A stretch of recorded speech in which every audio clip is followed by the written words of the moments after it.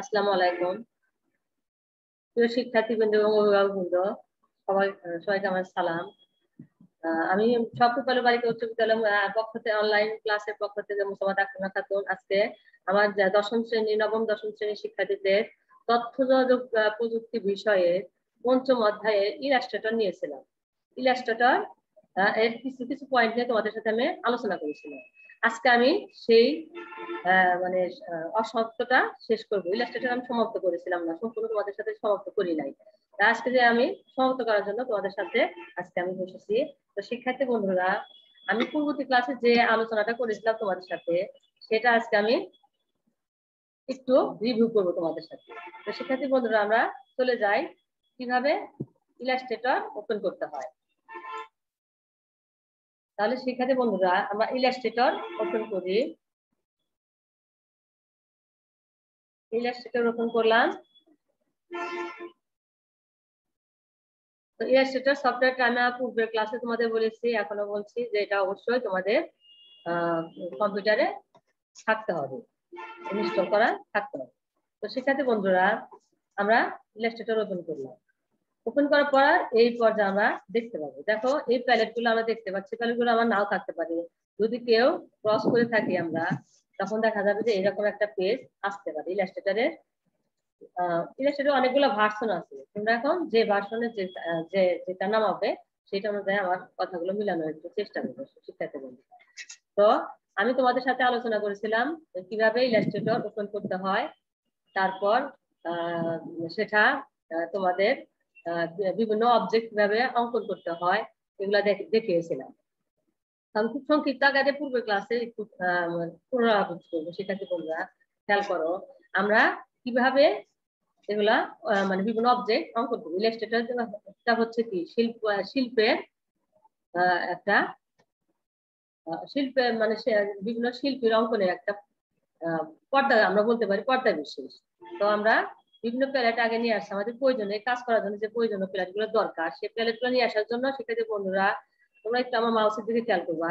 এই প্যালেটগুলো নিয়ে আসার জন্য আমি গেলাম কোথায়? উইন্ডো। উইন্ডো প্যালেট থেকে আমি কালার প্যালেটে ক্লিক করলাম। আমার এখানে দরকার লেয়ার লেয়ার প্যালেটটাও দরকার এবং দরকার হচ্ছে এই যে টাইপ টুলের সাথে আমরা ক্যারেক্টার আমরা যেহেতু আজকে শেষ করব, সেজন্য আমাদের ক্যারেক্টার প্যালেটটাও দরকার। এই উইন্ডো থেকে আমরা নিলাম কি? টাইপ টুল এবং লেয়ার লেয়ার নিলাম কালার নিলাম টাইপ টুলের থেকে আমরা ক্যারেক্টার প্যালেট নিলাম। এই প্যালেটগুলো দিয়ে আমরা আজকে আমাদের ইলাস্ট্রেটর যে পয়েন্টগুলো আছে পার্টগুলো আছে, সবগুলো আমরা শেষ করার চেষ্টা করব। তো শিক্ষার্থী বন্ধুরা, তোমরা একটু খেয়াল করো যে আমি গত ক্লাসে তোমাদের যে অবজেক্টগুলো অঙ্কন করেছিলাম, সেই অবজেক্টগুলো একটু তুমি দেখতে পারো। শিক্ষার্থী বন্ধুরা, আমি প্রথমে কিছু টুল বক্সের পরিচিতি তোমাদের দিয়েছিলাম। এখানে বিভিন্ন টুল বক্স পরিচিতি আমি তোমাদের দিয়েছিলাম। তো এখন আর বিস্তারিত দেওয়া সম্ভব হচ্ছে না। বন্ধুরা আমি টুলবক্স থেকে, দেখো আমি চেপে রাখলাম। যে কোনো টুলবক্সের এই কর্নারে চেপে রাখলে তার একাধিক আন্ডারে যে একাধিক টুলগুলো থাকে সেগুলো আমরা দেখতে পাবো।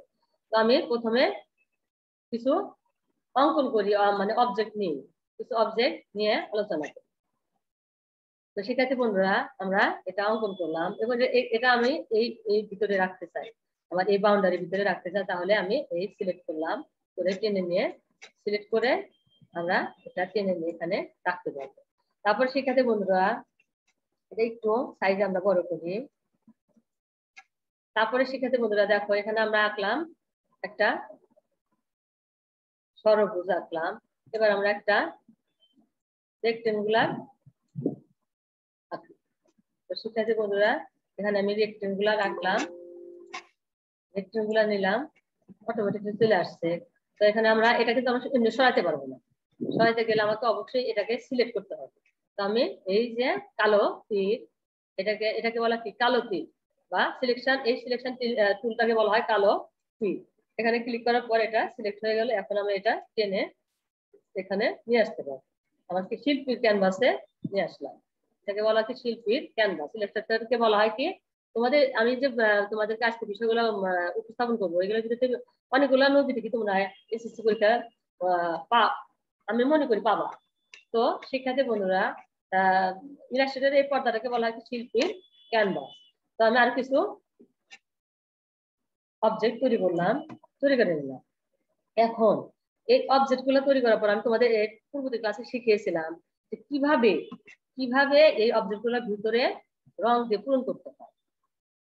এবং এই যে আমি আকৃতি গুলো আঁকলাম, এই এই আকৃতি গুলাকে বলা হয় কি এইগুলো এই জায়গা, এই রেখাগুলোকে বলা হয় পাত আমাদেরকে অবশ্যই চিনতে হবে। এগুলাকে অবজেক্টের চারিদিকের যে আকৃতি, সেটাকে বলা হয় পাত এরা কি সরপাত এটা হচ্ছে মানে রেক্টেঙ্গুলার বা বর্গাকৃতি পাত এটা হচ্ছে স্টার পাত এগুলাকে বলা হয় পাত এখন আমরা এই পাত দিয়ে কীভাবে আমরা টাইপ করব? আমরা এই পাথের চারিপাশে কীভাবে টাইপ করব? কিংবা পাথের ভিতরে এই পাথের এই পাতগুলার ভিতরে আমরা কীভাবে টাইপ করব?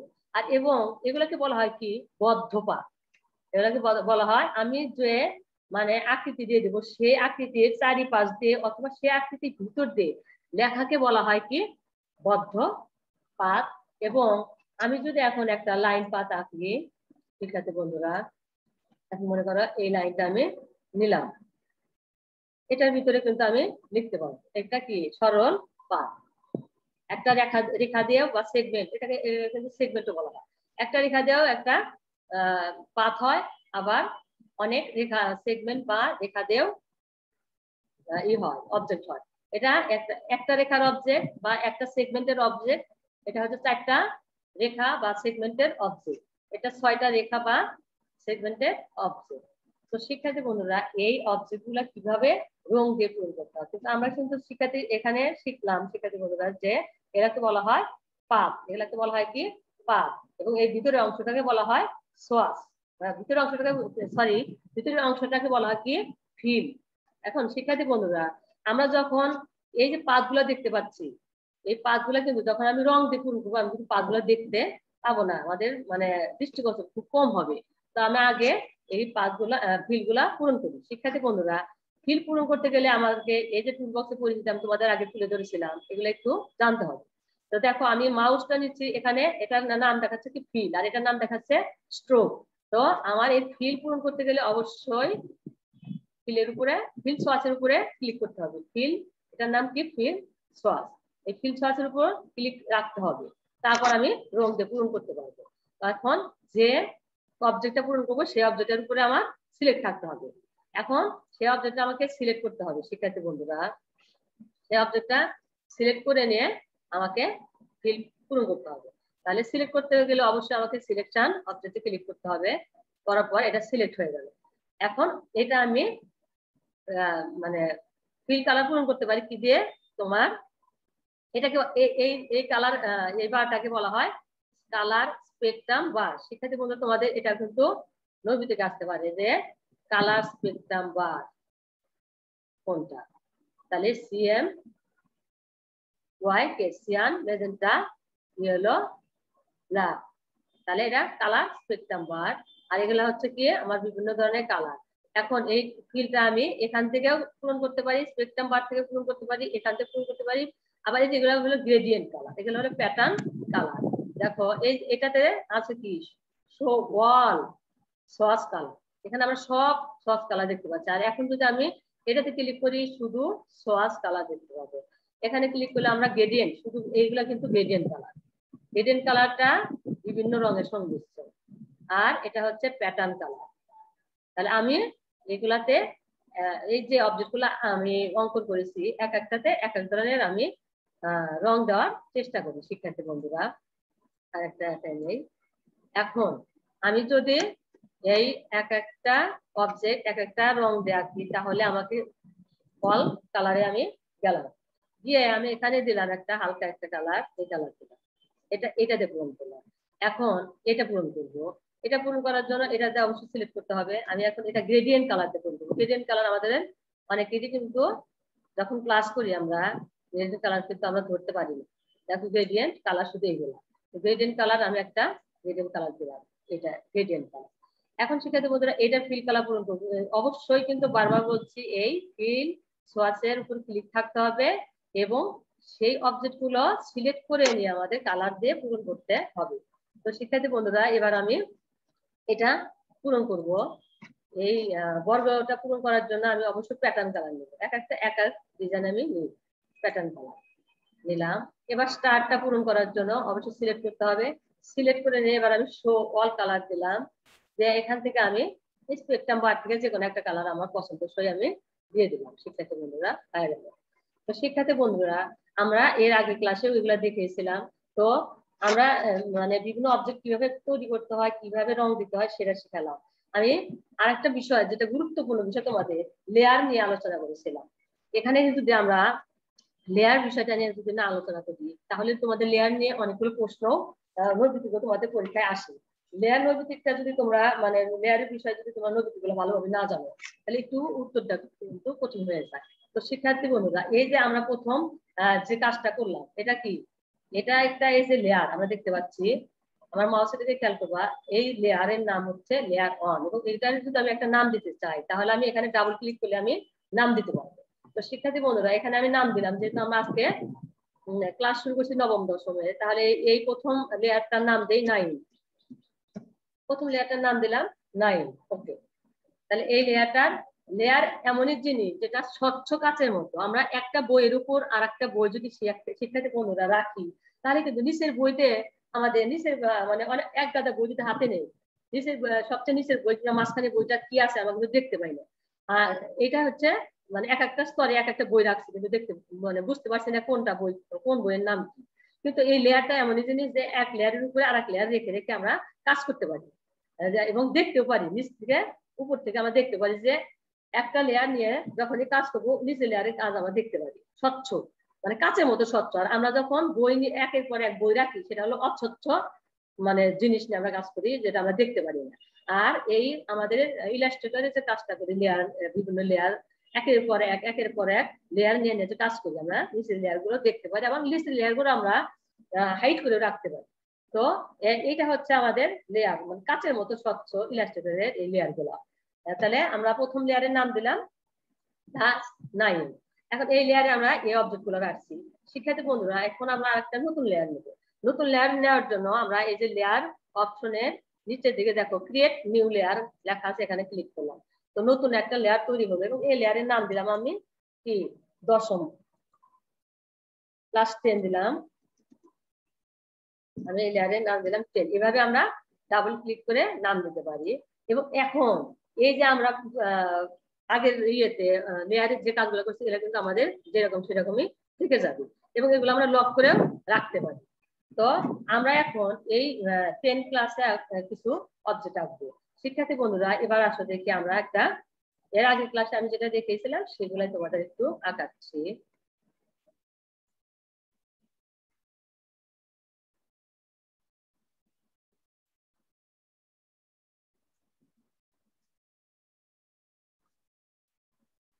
শিক্ষার্থী বন্ধুরা, এই অবজেক্টটা আঁকানো আঁকানো একদম সহজ। আমি প্রথমে দেখো এটা আঁকালাম, কিন্তু আমি কিন্তু দেখতে পাচ্ছি কি, আমার এই হাড়ির মুখটা ওই মানে উল্টো দিক হয়ে আছে। এখন হাড়ির মুখটা আমার সামনের দিকে নিয়ে আসার জন্য অবশ্যই আমি কাজ করতে পারি। সেটা কি আমি এখানে গিয়ে ফ্রন্টে নিয়ে আসব। ফ্রন্টে নিয়ে আসলে আমার এই এটা সম্মুখে আসবে।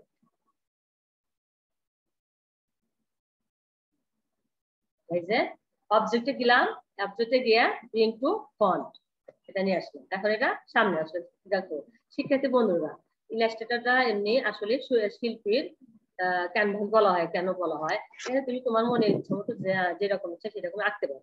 তো শিক্ষার্থী বন্ধুরা, আমরা এই যে হাড়িটা আঁকলাম, এটার রং এখন আমরা একটা কালার দিয়ে পূরণ করে দিই। দিলাম। তো সুন্দর একটা হাড়ি হয়ে গেল শিক্ষার্থী বন্ধুরা। এখন শিক্ষার্থী বন্ধুরা, আমি তোমাদের যে জিনিসটা দেখাবো, সেটা আরও ইন্টারেস্টিং বিষয়।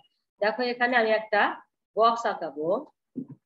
বক্স আঁকানোর পর এখন এই বক্সটার আমি মানে রেক্টেঙ্গুলার নিলাম। রেক্টেঙ্গুলারটা নেওয়ার পর আমি এখন যদি এটার আর একটা কপি করতে চাই, তাহলে শুধু কন্ট্রোল ধরে চাপ দিলেই আর একটা কপি হবে। কন্ট্রোল ধরে চাপ দিলেই আর একটা কপি হবে। অনেকগুলা কপি হলো, শিক্ষার্থী বন্ধুরা। এবং এই কপি এই অবজেক্টগুলা এখন আমি সিলেক্ট করব। করে একটু টানে সমান ছোট তালে মানে সমান তালে প্রত্যেকটা আমি বানিয়ে নেব। এখন এগুলো দিয়ে শিক্ষার্থী বন্ধুরা, এগুলা দিয়ে কীভাবে আমরা একটা বক্স তৈরি করতে পারি একটা বক্স কীভাবে আমরা তৈরি করতে পারি? দেখো, শিক্ষার্থী বন্ধুরা খুবই একটা ইন্টারেস্টিং বিষয়। তো আমরা কীভাবে ইলাস্ট্রেটরে ইলাস্ট্রেটর দিয়ে কীভাবে আমরা একটা বক্স তৈরি করতে পারি?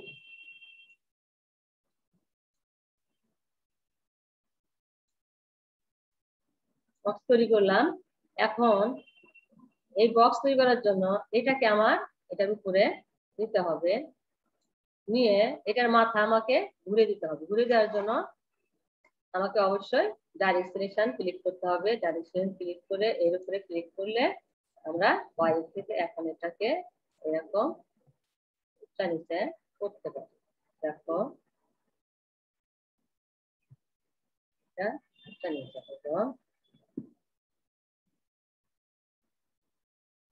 একটা বক্স যেহেতু আমরা আঁকাতে চাচ্ছি, দেখো এইভাবে আমরা একটা বক্স আঁকাতে পারি। বন্ধুরা শিল্পীর ক্যানভাসটা আসলে কিন্তু অনেক কঠিন।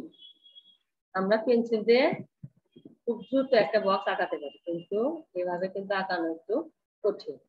এখন আমি আর একটা এটা নিলাম, এখানে নিয়ে এটাকে আমি রিসাইজ আগে করে নেই। একটু এদিকে বাড়িয়ে নেই, এদিকে করে নেই। নিয়ে দেখো আমরা একটা টেবিল আকৃতি করতে গেলে তৈরি করলাম। এখন এই যে আমরা একটা আকৃতি আঁকলাম এটাকে অবশ্যই কি গ্রুপিং করতে হবে। গ্রুপিং করতে হবে। একটা টেবিল হয়ে গেল, তাই না? সেক্ষেত্রে বন্ধুরা, তো আমরা এখানে কয়েকটা অবজেক্ট আঁকছি এবং দুইটা লেয়ার নিয়ে কাজ করি। এইভাবে আমরা একের পর এক একসাথে, কিন্তু এটার সাথে এটা কিন্তু কোনোদিনও মিশবে না। এই লেয়ারের সাথে এই লেয়ার কিন্তু কোনোদিনও মিশবে না। এখন আমরা দেখো ক্লাস টেন এই লেয়ারের যে কাজ করেছি, এখন আমরা যদি নাইন নাইন লেয়ারে যে কাজ করছি, সেটা যদি বন্ধ রাখতে চাই, তাহলে এই দেখো চোখের মতো একটা আকৃতি আছে এটাতে আমরা ক্লিক করলে নাইনটা আমাদের বন্ধ হয়ে যাবে। আর আমরা ক্লাস টেনটা যা মানে আঁকিয়েছি সেগুলো আমরা দেখতে পাবো। আবার যদি এটা চালু করে টেনটা নাইনটা বন্ধ করে দেই, না টেনটা বন্ধ করে দেয় তাহলে আমরা দুইটা বন্ধ করব। আবার এই একটা চালু করলে একটা দেখতে পাবো। এটা বন্ধ করে এটা চালু করলে আমরা এটা দেখতে পাবো। তাহলে কি, শিক্ষার্থী বন্ধুরা, আমরা একটা বিষয়ের উপরে কিন্তু আমরা করতে পারছি। আমরা যদি আরেকটা লেয়ার নেই এবার দেখো আরেকটা লেয়ার নিলে কি হলো? এই লেয়ারে আমরা নাম দিলাম আজকে যে নতুন ক্লাস আমরা যে এতক্ষণ আমি যে যতটুকু তোমাদের সাথে আলোচনা সেটা সম্পূর্ণ পূর্ববর্তী ক্লাসের মানে একটু পুনরাবৃত্তি করলাম। এখন আজকে যে বিষয়টা হচ্ছে সেটা হলো পাত পাথের ভিতরে বা বাহিরে কীভাবে আমরা লেখা, লেখালেখি করব? পাত পাত নিয়ে যেহেতু আলোচনা করব মানে টেক্সট টাইপ নিয়ে, তাহলে আমরা টাইপ লিখলাম। তাহলে দেখো এই লেয়ারের নাম দিলাম টাইপ যেহেতু আমরা টাইপ করব এখানে, তো শিক্ষার্থী বন্ধুরা, এখানে আমরা কয়েকটা অবজেক্ট নেব। কিন্তু এখানে লাইন অবজেক্ট নেব। যেহেতু তোমাদের বইয়ের বইয়ের সাথে আমি তোমাদের মেলানোর চেষ্টা করছি। একশো এক নাম্বার পেজে দেখো, তোমাদের বইয়ে বিভিন্ন আকৃতি আসছে। তো শিক্ষার্থী বন্ধুরা, এখানে আকৃতি আঁকার জন্য প্রথমে আমি পেন টুল ব্যবহার করব। পেন টুল আমি প্রথমে পেনটা এভাবে একটা ক্লিক করলাম। ক্লিক করে যখন আমি এখানে ক্লিক করব, এটা আকৃতি হয়ে যাবে।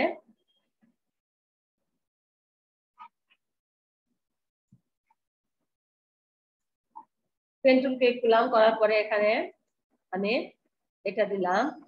আর এরকম হচ্ছে কেন, শিক্ষার্থী বন্ধুরা? এই যে আমার সোয়াস কালারটা নান করে দিতে হবে। নীল কালারটা নান করে দিতে হবে। তো শিক্ষার্থী বন্ধুরা, এখান থেকে আমি আবার তোমাদের বইয়ে যে আকৃতিটা আছে, সে আকৃতিটা আঁকবো। দেখো কীভাবে আস্তে আস্তে আস্তে আমরা তোমাদের বইয়ের আকৃতি আঁকানোর চেষ্টা করি শুধু আমি পেন টুলে ক্লিক করছি। করার পর একটা করে ক্লিক করে করে আমি তোমাদের এই আকৃতিগুলা আঁকাচ্ছি। কারণ এইটার ভিতর দিয়ে পাথের ভিতর দিয়ে আমরা একটু লেখার চেষ্টা করব। বিভিন্ন লেখার চেষ্টা করব, শিক্ষার্থী বন্ধুরা। এই হলো আমাদের পাত টুল পাত টুলের কাজ আমরা আজকে দেখাবো। তো পাত টুলে কীভাবে মানে লিখতে হয়? শিক্ষার্থী বন্ধুরা পাত টুলের চারিদিকে কীভাবে লিখতে হয়? আমি আজকে তোমাদের সেটা আমাদের মূল আলোচ্য বিষয় হচ্ছে এটা, যে পাতকুলের ভিতরে বা বদ্ধ আর পাতকুল আমাদের কি হয়? বিভিন্ন ধরনের পাতকুল হয়ে থাকে পাতকুল আবার বিভিন্ন ধরনের হয়ে থাকে এবং বিভিন্ন পাত বিশেষ করে তোমাদের লেখালেখির কাজ যখন আমরা করি ইলাস্ট্রেটর যখন আমরা লেখালেখির কাজ করি, তখন আমরা ছয় প্রকার টাইপ টুল দেখতে পাই। আর আমরা এখানে এই টাইপের কাজ করি কি? তিন ভাবে একটা হচ্ছে text type point text type একটা হচ্ছে এরিয়া টাইপ আর একটা হচ্ছে পাথ টাইপ পাথ টাইপ হচ্ছে এই যে এরকম আমি যে পাথটা নির্ধারণ করে দেবো সেই পাথের উপর লেখা কিংবা এই গোলাকার পাথের উপর লেখা কিংবা এই চার কোনা পাথের উপর লেখা। এটা হচ্ছে পাথ তুলে টাইপ করা। এবং বদ্ধ টাইপ বদ্ধ মানে এরিয়া টাইপ এরিয়া এই যে আমি নির্ধারণ করে দিচ্ছি যে এরিয়া লিখব। তাহলে এটা হচ্ছে শিক্ষার্থী বন্ধুরা, তাহলে এটা হচ্ছে এরিয়া টাইপ এটা হচ্ছে এরিয়া টাইপ আর এটা হচ্ছে মুক্ত পথের টাইপ আর এখানে আমরা একটা নিতে পারি লাইন লাইন টাইপ তাহলে আমরা লাইনেও টাইপ করতে পারি। এটা হলো মুক্ত পথ। এটা মুক্ত পথে টাইপ আর এটা হচ্ছে আবদ্ধ পথ বা বদ্ধ পথে টাইপ শিক্ষার্থী বন্ধুরা, এবার আমরা চলো এই লেখাগুলো কীভাবে লিখতে হয় আমরা একটু দেখি। তো শিক্ষার্থী বন্ধুরা, আমরা এখন টাইপ করার জন্য অবশ্যই টাইপ তুলে ক্লিক করব। ক্লিক করে চেপে রেখে এখানে ক্লিক করে থাকব। তো আমরা যখন এমনি পেন্সিল দিয়ে টাইপ মানে কম্পিউটারে কিবোর্ড টাইপ করব, তখন আমাদের এইটা ব্যবহার করতে হবে। এখানে ক্লিক করলে আমরা যে টাইপটা করতে পারব, আমরা অক্ষরগুলো দেখতে পাচ্ছি একদম, ছোট্ট ছোট্ট আমরা অক্ষরটা টাইপ অবশ্যই বড় করে নিচ্ছি।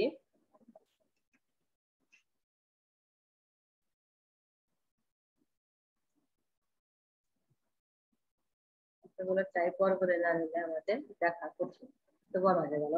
শিক্ষার্থী বন্ধুরা একটু বড় করি তো এরকম আমরা লিখব যে কীভাবে পাত টাইপে পাত টাইপে টাইপ করতে হয় এবং কীভাবে বদ্ধ জায়গায় টাইপ করতে হয়, এটা আমরা আজকে দেখব। তো এখানে এইটা, এই টাইপটা টাইপ টুলটা যদি আমরা সিলেক্ট করি, তাহলে শুধু এভাবে টাইপ করতে পারব। আর যদি আমরা এই যে এখানে আমরা দেখতে পাচ্ছি এরিয়া টাইপ টু এটা যদি টাইপ করতে চাই, তাহলে অবশ্যই এটাতে ক্লিক করতে হবে এবং যার উপরে টাইপ করব, যা যেটার ভিতরে, যে অবজেক্টের ভিতরে টাইপ করব, সে অবজেক্ট অবশ্যই সিলেক্ট করতে হবে। তাহলে আমরা সিলেক্ট অপশনে গিয়ে এটা ক্লিক করলাম সিলেক্ট করে নিলাম। তারপর আমরা এরিয়া টাইপ ক্লিক করার পর এইখানে ক্লিক করতে হবে। এই, তোমার অ্যাঙ্কর পয়েন্ট এটাকে বলা হয় কি অ্যাঙ্কর পয়েন্ট এই অ্যাঙ্কর পয়েন্টে ক্লিক করে আমরা ভিতরে লিখতে পারি। যেমন আমাদের স্কুলের নাম হচ্ছে Sohapur pilot girls high school S H O S S G P U school pilot girls high school তাহলে আমরা এভাবে বদ্ধ মানে আমি যেটা ওকে নির্ধারণ করে দিব সেইটুকুর ভিতরে এটা টাইপ হবে এর বাহিরে যাবে না আর এখানে আমরা ঠিক একইভাবে এখানে আমরা লিখতে পারি, না লিখে আমরা শুধু কপি করে পেস্ট করে দিলেও হবে। তো পেস্ট করে দিতে গেলে আমাদের অবশ্যই সেটা সিলেক্ট করতে হবে এখানে। সিলেক্ট করে নিয়ে এখানে টাইপ এই বদ্ধ ইটা অ্যাঙ্কার পয়েন্টে চাপ দিলে আমরা পেস্ট করতে পারব। দেখছ শিক্ষার্থী বন্ধুরা, তাহলে আমরা এটা টাইপ করলাম। হয়ে গেল।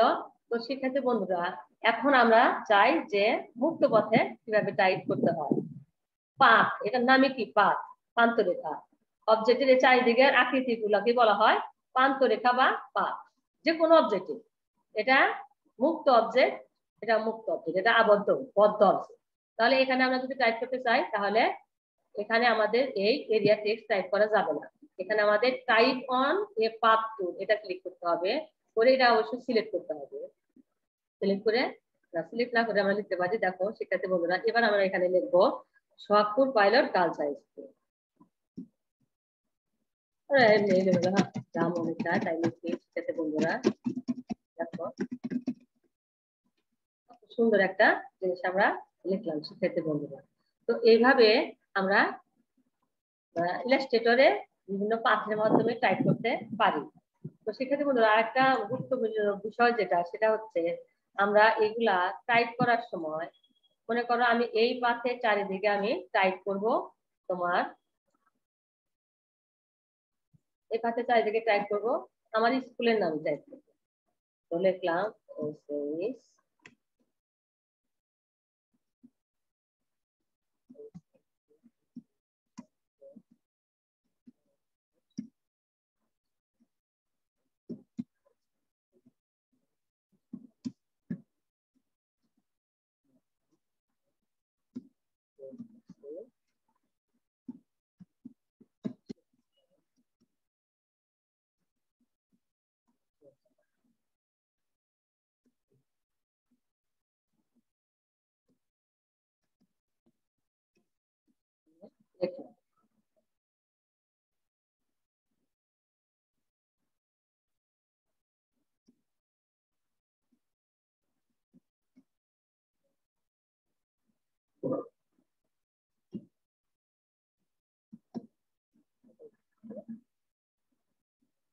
লেখার পর, শিক্ষার্থী বন্ধুরা, এখানে আমরা বেজ লাইন সেট করে দিতে পারি। বেজ লাইন সেট করে দেওয়ার জন্য আমাদের, দেখো বেজ লাইন সেট করলাম। বেজ লাইন সেট করে দেওয়ার পর,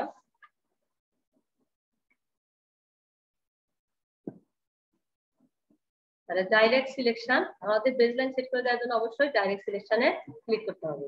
ক্লিক করে বেজ লাইন আমরা সেট করে দিলাম। ডাইরেক্ট সিলেকশন সেট করে দেওয়ার পর আমরা এখন এই লেখাগুলোকে ঘুরাতে পারব। লেখাগুলোতে ঘুরাতে পারব, দেখো।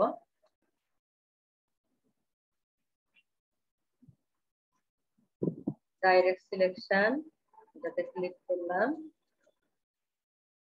এখন আমরা লেখাগুলাকে আমাদের ইচ্ছা মতো ঘুরিয়েতে ঘুরাতে পারব যে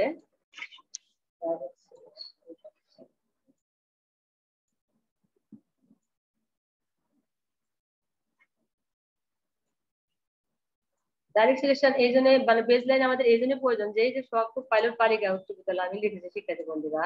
এখানে আমরা এটা এটা ধরে ধরে টেনে আমরা মানে ঘুরে ঘুরে নিয়ে আসতে পারি। আমার যেখানে শখপুর পাইলট শখপুর এখানে রাখা দরকার। তাহলে আমরা এই বেজ লাইন ধরে ধরে আমরা টানতে পারি। বেজ লাইন ধরে আমরা টেনে আমাদের এই যে বেজ লাইনের দেখো শিক্ষার্থী বন্ধুরা কত সুন্দর একটা জিনিস। আমরা বেজ লাইনটা এভাবে সরাতে পারছি। এটা হচ্ছে বেজ লাইনের সুবিধা। আমার এই যে সকল গার্লস স্কুল আমি যেভাবে লিখেছিলাম বেজ লাইন সেট করলে আমাদের এটা একটা সুবিধা। আমরা যদি বেজ লাইন আবার সেট করি, তাহলে আমরা আমাদের সুবিধা মতো নিয়ে সেটা আমরা করতে পারি। বেজ লাইন এই সুবিধা।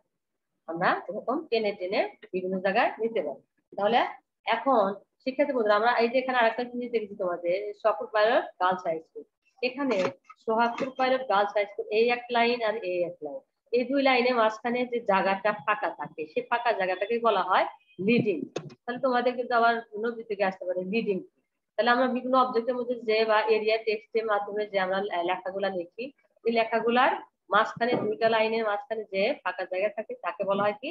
লিডিং এই লিডিংটাও আমরা এখানে দেখো, এই যে ক্যারেক্টার প্যালেটের ভিতর থেকে আমরা লিডিং আমরা কম বেশি করতে পারি। লিডিং আমরা কম বেশি করে দিলি, দেখো এই চেপে গেল। আমি লিডিং আমরা এভাবে কম বেশি করতে পারি। তাহলে এটা কি আমরা অবশ্যই বুঝতে পারছি যেটা বেজ লাইন হচ্ছে যে আমরা এরিয়া টেক্সট দিয়ে যে লেখাগুলো লিখি এবং বেজ লাইন হচ্ছে আমরা লেখাগুলোর মাঝখানে এই বেজ লাইনের মাধ্যমে লেখাগুলো ফাঁকা করতে পারব। এই হলো আমরা আজকে শিখলাম লেয়ার কি লেয়ারে কীভাবে নাম দিতে হয়। আমরা লেয়ারে নাম দিলাম লেয়ার কীভাবে আমরা মানে একটা লেয়ারের কাজ কীভাবে আমরা বন্ধ রাখতে পারি, তারপরে আর একটা লেয়ার বন্ধ রেখে কাজ করতে পারি। আবার সবগুলা লেয়ার জাগর কাজ করতে পারি, সবগুলা লেয়ার আমরা নিয়ে কাজ করতে পারি, বন্ধ রেখেও একটা একটা লেয়ার চালু রেখে কাজ করি। দেখো, আমরা এই লেয়ারের নিচে এইটাকে, এই জন্য বলা হয় লেয়ার হলো একটা স্বচ্ছ কাচের মতো কারণ আমার এটা একটা লেয়ার এই যে কাজগুলো আমি যে পাত টুলের মাধ্যমে টাইপের কাজ করেছি, এটা হলো আমার একটা লেয়ার এবং এই লেয়ারের নাম হচ্ছে টাইপ দিচ্ছি আমরা। আর এই নিচের লেয়ারটাকে নাম দিচ্ছি আমরা টেন আর এই লেয়ারটাকে আমরা নাম দিচ্ছি নাইন এরকম এই এই কাজগুলাকে বলা হয় মানে এই স্তরগুলাকে বলা হয় কি? লেয়ার আর আমরা টাইপ টুলের মাধ্যমে কাজ করলাম। এরকম শিক্ষার্থী বন্ধুরা, এবার আরেকটা লেয়ার আমরা নিতে পারি, যেটা আমরা মানে যেহেতু আমরা আজকে ইলাস্ট্রেটর সম্পূর্ণ শেষ করব, তাহলে সম্পূর্ণ শেষ করার জন্য একশো আট নাম্বার পেজে দেখো, ইলাস্ট্রেটরের লাস্টে একটা সুন্দর একটা তোমাদের ই দিচ্ছে, কি বলে? সুন্দর আর একটা তোমাদের সামনে তুলে ধরছে সুন্দর একটা বিষয়, সেটা হচ্ছে অক্ষরের আউটলাইন তৈরি করা। তার জন্য আমাদের অবশ্যই আর একটা ই নিতে হবে লেয়ার নিতে হবে, এবং সেটা সেই লেয়ারের নাম দিতে পারবে না আউটলাইন আউটলাইন কীভাবে? অক্ষরের আউটলাইন দিতে হয়। তাহলে এবার আমরা শিক্ষার্থী বন্ধুরা, এই ইগুলো আমরা একটু বন্ধ রাখি। লেয়ারগুলা বন্ধ রেখে আমরা এখন এই লেয়ারে কাজ করি। তো আউটলাইন কীভাবে দিতে হয়, এখন আমরা টাইপ করব আগে। আগে সাধারণ নিয়মে আমরা টাইপ করব। এই দেখো, আমরা যেহেতু আমাদের স্কুলের শিক্ষার্থী বোঝাচ্ছি, শিক্ষার্থী বন্ধুরা, অবশ্যই নিজের স্কুলের নামের কথা শুনলে ভালোই লাগবে। তো আমি আমার স্কুলের নামে লিখলাম, Sohagpur pilot girls high school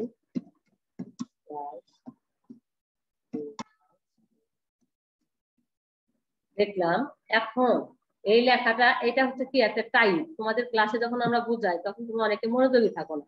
এটা হচ্ছে কি, আমি যে লেখাটা লিখলাম, এটা হচ্ছে টাইপ বা হাতের লেখা বলতে পারো। এরকম আমরা হাতে যেটা লিখি সেটা হচ্ছে হাতের লেখা। এবং যেটা আমরা হাতের লেখাটাই আমরা যখন পর্দার মাধ্যমে দেখি সেটা হচ্ছে মানে কম্পিউটারের টাইপ মানে কম্পিউটারে দেখি। আর এই কম্পিউটারে যখন আমরা এই লেখাটাকে আরও সৌন্দর্যভাবে তোমাদের সাথে উপস্থাপন করি, সেটাকে বলে তখন হয়ে যায় সেটা ছবি বা গ্রাফিক্স তাহলে শিক্ষার্থী বন্ধুরা, এই ছবি বা গ্রাফিক মানে এই লেখাকে ছবি বা গ্রাফিক্সে পরিণত করতে গেলে আমরা কি করব?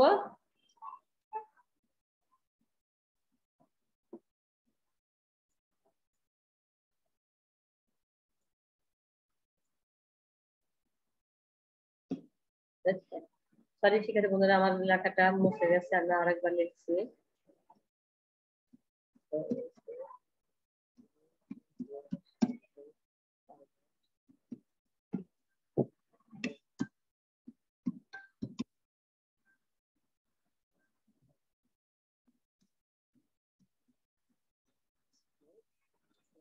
বন্ধুরা, এখন এই লেখাটা যদি আমরা তোমার করি কি বলে? আমরা আউটলাইন দিতে চাই, তাহলে এটাকে আমরা কি করব? বেজ লাইন দেব। অক্ষরে আউটলাইন দেওয়ার জন্য আমরা এটাতে আউটলাইন দিতে পারি।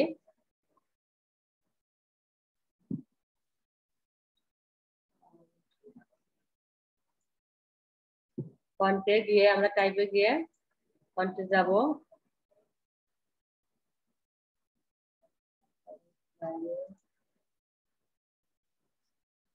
আগে অক্ষরটা আমরা কালা দিতে পারি, দেখো।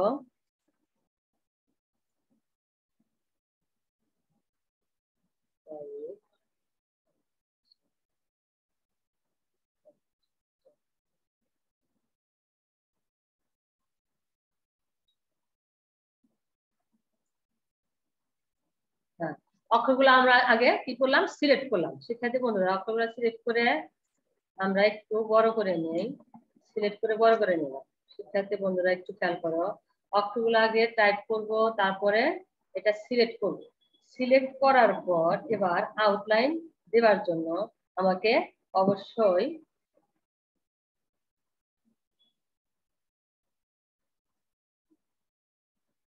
সিলেকশন ডাইরেক্ট সিলেকশন ডাইরেক্ট সিলেকশনে ক্লিক করতে হবে। ডাইরেক্ট সিলেকশনে কি করলাম? সিলেক্ট করার পর ডাইরেক্ট সিলেকশনে ক্লিক করলাম। করার পর এখন এই অক্ষরগুলো আমি কালার দিতে পারি, যে কোনো কিছু করতে হবে কালার টেক্সটার যে কোনোটাই আমরা দিতে পারি। তো আমরা এরকম দিলাম। তো শিক্ষার্থী বন্ধুরা কালার দেওয়ার পর এখন আমি যদি চাই যে এগুলা আমি একটা আউটলাইন দেব। এই লেখাগুলার একটা আউটলাইন দেব। তাহলে শিক্ষার্থী বন্ধুরা, আমি কিন্তু এখানে এবার আউটলাইন দিতে পারব। আমি কি করলাম? এটা সিলেক্ট করলাম। সিলেক্ট করার পর সিলেক্ট করলাম। তারপরে আমি রাইট বাটনে ক্লিক করে আমি ক্রিয়েট আউটলাইন দিই এবার এই লেখাগুলো কিন্তু এখন টাইপিং অবস্থায় থাকল না, শিক্ষার্থী বন্ধুরা। এগুলো এখন হয়ে গেল কি? গ্রাফিক্স বা চিত্র হয়ে গেল, শিক্ষার্থী বন্ধু গ্রাফিক্স বা চিত্র হয়ে গেল। দেখো আমি আমি লিখছিলাম হলো একভাবে এটা হয়ে গেল আর একভাবে এটা কিন্তু গ্রাফিক্স বা চিত্র শিক্ষার্থী বন্ধুরা, গ্রাফিক্স বা চিত্র বানিয়ে গেল এইটাই হলো আমাদের এই লাস্টের একটা সুন্দর একটা তোমার একটা গ্রাফিক্স বা চিত্র হয়ে গেল এবং এটা যদি আবার আমরা শিক্ষার্থী বন্ধুরা একটু মানে বানিয়ে দিই, তাহলে আরও সুন্দর দেখাবে। তো আমরা আজকের এটা বিষয় হচ্ছে আমরা এটা বিভিন্ন ভাবে টেক্সটার দিয়েও গ্রাফিক্স এটাকে গ্রাফিক্সে পরিণত করলাম। গ্রাফিক্সে পরিণত করলে এরকম সুন্দর দেখা আমরা দেখালাম যে শিক্ষার্থী বন্ধুরা কীভাবে আমরা গ্রাফিক্সে রূপান্তর করতে পারি। তারপরে তোমাদের আরেকটা ইলাস্ট্রেটরের লাস্টের যে পয়েন্টটা আলোচনা করা হয়েছে, সেটা হচ্ছে এই লেয়ারে আমার একটা জিনিস যে কীভাবে একটা ইমেজ যুক্ত করা হয়। তাহলে ফাইলে গিয়ে আমরা প্লেসে ক্লিক করব। ফাইলে গিয়ে প্লেসে ক্লিক করব। প্লেসে ক্লিক করার পর আমাদের যেখানে ছবিগুলো আছে, আমরা সেই ছবি, সেই ফোল্ডারটা সিলেক্ট করে নিয়ে আমরা একটা ছবি দিব।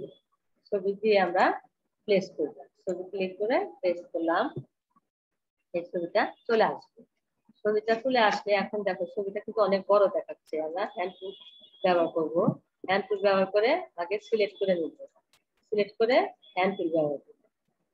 সিলেক্ট করে নিয়ে হ্যান্ড টুল ব্যবহার করব, এটা আমরা রিসাইজে চলে যাব। দেখো অনেক বড় হয়ে যাচ্ছে আমরা হ্যান্ড টুলের সাহায্যে কীভাবে এটা ছোট করতে হয় সেটা আমরা করব। দেখো শিক্ষার্থী বন্ধুরা যে কন্ট্রোল চেপে ধরে ধরে আমরা এই ছবিটা ছোট করলাম। প্রথমে হ্যান্ড টুল ব্যবহার করলাম এবং তারপর কন্ট্রোল চেপে চেপে এভাবে একই সাথে কিন্তু আমাদের ক্যানভাসের যদি কোনো ছবি এরকম বড় হয়ে যায়, তাহলে আমরা অবশ্যই হ্যান্ড টুলের সাহায্যে এই ছবিগুলো আমরা এইভাবে ছোট করে নিয়ে আসব। এবং দৃশ্যমান স্পটে আমাদের অবজেক্টগুলা নিয়ে আসতে পারব যদি কোনো অবজেক্ট এইরকম হুট করে আমাদের বড় হয়ে যায়। পুরা ক্যানভাস জুড়ে যখন তখন কোনো অবজেক্ট চলে আসবে এইভাবে আমরা হ্যান্ড টুল ব্যবহার করব এবং কন্ট্রোল চেপে ধরে আমরা মাউস দিয়ে এই অবজেক্টগুলো মানে একদম ছোট আকৃতিতে নিয়ে আসতে পারব। শিক্ষার্থী বন্ধুরা, দেখো, সুন্দরভাবে আমরা নিয়ে আসলাম। এটা আমরা নিয়ে আসলাম। হয়ে গেল, শিক্ষার্থী বন্ধুরা। তাহলে আমরা যে বিষয়গুলো শিখলাম, শিক্ষার্থী বন্ধুরা, অনেকগুলো বিষয় আমরা শিখলাম। আমরা বিভিন্ন গ্রাফিক্স এর ডিজাইনটা শিখলাম যে কীভাবে লেখাকে আমরা গ্রাফিক্স পরিণত করতে পারি, সেটা দেখালাম। তো শিক্ষার্থী বন্ধুরা, এখন আমরা লেয়ারগুলোর মধ্যে আরেকটু আমাদের পার্থক্য রয়ে গেছে। আমরা যদি এখন এই লেয়ার নিয়ে আলোচনা করি, তাহলে আমরা এখন দেখতে পাবো দেখো শিক্ষার্থী বন্ধুরা outline type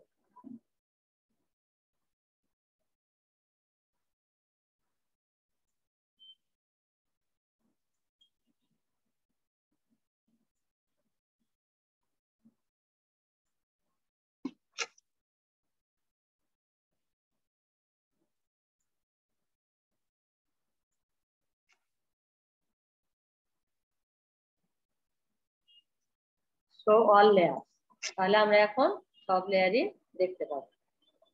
শিক্ষার্থী বন্ধুরা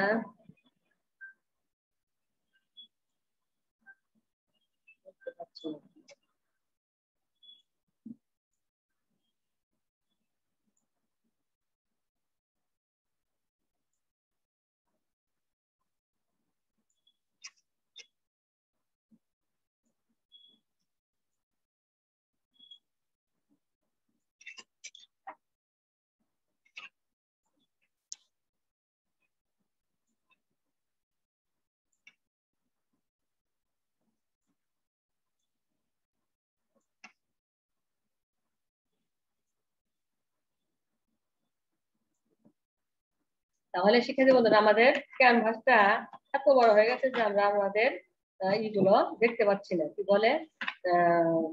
লেয়ারগুলোর ছবি আমরা দেখতে পাচ্ছি না, তাহলে অবশ্যই আমাদের এখন ঝুম ঝুম ইন ঝুম ইন এটার মাধ্যমে আমাদের পর্দাটাকে ছোট করে নিয়ে আসতে হবে। পর্দা বোতাম চেপে রেখে জুম টুলটি আউটপুট অল্টার বোতাম চেপে রেখে এবং কন্ট্রোল বোতাম চেপে রেখে মানে ইন আমাদের, এই দেখো শিক্ষার্থী বন্ধুরা, আমিও একটু নার্ভাস হয়ে গেছিলাম তোমাদের সামনে যে কীভাবে আমি আমার জিনিসগুলো আমি দেখতে পাচ্ছি না। দেখো, আমার এটা কি হয়েছিল? আমি যখন তোমাদের লেয়ারগুলো দেখতে দেখাতে চাইলাম, কিন্তু লেয়ারগুলো দেখাতে পারলাম না। কেন দেখাতে পারলাম না? যে আমার পর্দাটা ক্যানভাসটা এত বড় হয়ে গেছিল যে আমি নিয়ে আসতে পারছিলাম না। হ্যান্ড টুলের সাহায্যে নিয়ে আসতে পারছিলাম না। তখন আমার ব্যবহার করতে হলো এই যে তোমাদের জুম টুল এই জুম টুল যখন আমি ক্লিক করলাম, এটা সক্রিয় থাকা অবস্থায় কন্ট্রোল বোতাম চেপে রাখে, চেপে রেখে আমি কি করলাম? যখন মাইনাস হাইপেন হাইপেনটা চাপ দিলাম তখন ছোট হয়ে আসবে আর যখন আমি ইকুয়াল টু চাপ দিলাম তখন এটা বড় হয়ে আসবে তো শিক্ষার্থী বন্ধুরা, এর পর্যায়ে আমরা দেখতে পাচ্ছি যে আমরা যে এইগুলা মানে লেয়ারগুলো নিয়ে কাজ করছিলাম। তো সবচেয়ে গুরুত্বপূর্ণ বিষয় যেটা আমার আলোচনা করা হয়নি, যে শিক্ষার্থী বন্ধুরা, আমরা আজকে এই যে নাইনের এটা নিয়ে আলোচনা করি নাইন এবং বাকিগুলো আমি একটু বন্ধ রাখছি। তো সেখানে মধ্যে দেখো আমরা এই যে আলোচনা করছিলাম, পূর্ববর্তী ক্লাসের যেটা, সেটা হচ্ছে এই এটাকে বলা হয় কি, আমাদের, আমার মাউসের দিকে খেয়াল করবা। এটা এটা হচ্ছে তোমাদের ফিল্ড সোয়াস আমরা ফিল্ড সোয়াসের কাজ কীভাবে করতে হবে আমরা কিন্তু এখনও স্ট্রোকের কাজ বুঝলো স্ট্রোকের কাজ হচ্ছে যখন এই ফিল্ড সোয়াস উপরে থাকবে, তখন ফিল্ড সোয়াসের কাজ করবে ফিল মানে মাঝখানে কাজ করবে। আর স্ট্রোকটা হচ্ছে নিচে। স্ট্রোকে যখন আমি ক্লিক করব, দেখো স্ট্রোক ঠিক কালারের নিচে আছে।